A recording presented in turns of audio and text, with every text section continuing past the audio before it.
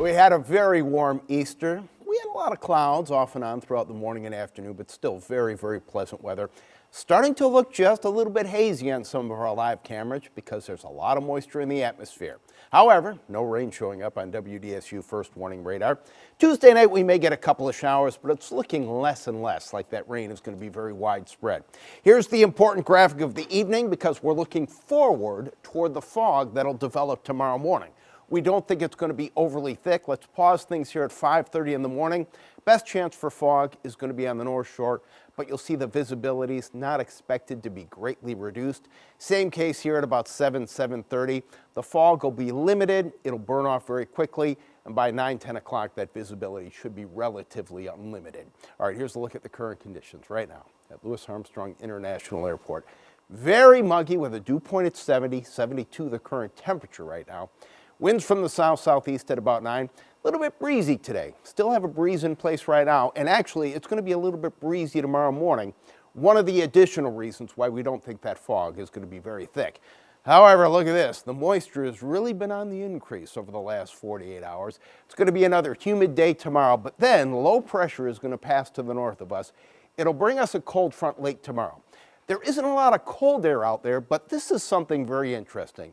If you're a sports fan, and I grew up in Chicago rooting for the Cubs, opening day tomorrow, 1 o'clock in Chicago. They might get the game in. However, both the Cubs and the White Sox are playing games on Tuesday. Snow. How about Wednesday? Snow. Snow also in Milwaukee, but at least they have a domed stadium, but still.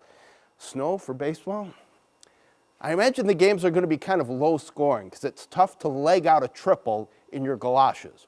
Uh, temperatures are going to be very, very warm for us over the next few days. We're going to start close to 70 degrees tomorrow. As we get into the afternoon, those high temperatures are going to get to the mid 80s. Here we are 3 o'clock tomorrow afternoon. Mostly cloudy, high temperature in the mid 80s expected tomorrow, mid 80s again on Tuesday. Tuesday morning, we're going to be tracking this cold front. It'll be moving through late in the day. How much rain is it going to bring us? Not much, 20% chance for showers. I think most of the rain is going to be pretty light. Wednesday, an improving weather day. Decreasing clouds, cooler air starts to move in. It's going to be breezy, but pretty comfortable. Mostly cloudy. Patchy fog toward morning.